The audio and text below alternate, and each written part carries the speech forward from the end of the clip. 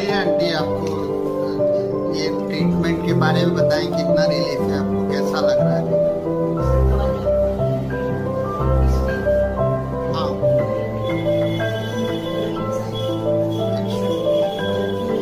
अच्छा। हाँ।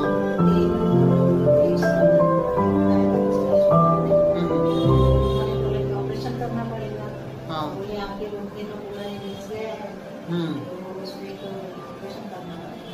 अच्छा। हमारे बाजू में रहते हैं। हम्म। तो उन्होंने फिर बताया सलाह उन्होंने कि बोले वहाँ दिखावा हम्म। यहाँ हम आए हाँ। तो सर को दिखाए। हाँ। तो सर ने ट्रीटमेंट करवाते तो चालू हो गया तो यानी धीरे धीरे आराम होने लगा। अच्छा। चिकन कम हो गई। हाँ। और वो तकलीफ़ जो थी यानी दर्द जो था दर्द भी कम हो गया। अच्छा। तो अभी यानी रेगुलर दवाई को मैंने थोड़ा बीच में अभी कम कर दिया था शुरुआत में। हम्म। यानी कि दिन में चार बार लेना था। अच्छा। तो उसके बाद में फिर वो थोड़ा आराम होते जाएगा दिन में हम्म। दो बार लेना शुरू किया। हम्म। फिर धीरे धीरे और आराम हो गया तो फिर मैंने दिन में एक बार लेना शुरू किया। अच्छा। तो फिर क्या कभी कभी वैसे बीच बीच में हाँ। कभी थोड़ा हल्का सा दर्द होना शुरू हो जाता है। हाँ। तो अभी सबको दिखाना था इसलिए हूँ अच्छा। दवाई तो चल रही है। हाँ। बीच में अभी दो बार या तीन बार ऑनलाइन ही हम्म। सबको दिखाया नहीं था। अच्छा। इसलिए अभी सबको दिखाने के लिए भी आई हूँ। अच्छा। और अपना जो फ़ायदा है उनसे जो भी बताना चाहती थी ओके। काफ़ी आराम हो गया। हम्म। और सर को क्या कहना चाहेंगे? आपको रिलीफ हो गया तो? सबको धन्यवाद देंगे। अच्छा। ऐसे ही और बाकी और पेशेंट हम जो उनको गाइड करेंगे हमको पूछते हैं कि आपको पैर में तकलीफ़ थी तो आपने किससे दवाई लिया कहाँ ट्रीटमेंट हम्म, करवाया? हम्म। फिर हमको हम बताते हैं उनको कि सर के पास जाओ कहाँ गया बहुत तकलीफ़ थी गई थी ऑपरेशन बताया था डॉक्टर ने। हम्म, तो वहाँ जाने के बाद में दवाई लेने से मेरा आराम हो गया। हम्म, ये नहीं बाकी और लोगों को हम बताएँगे कि भैया वहाँ धन्यवाद देंगे सरकार रहे। बाकी और लोग और आए हमारे इससे। तो thank you thank you very much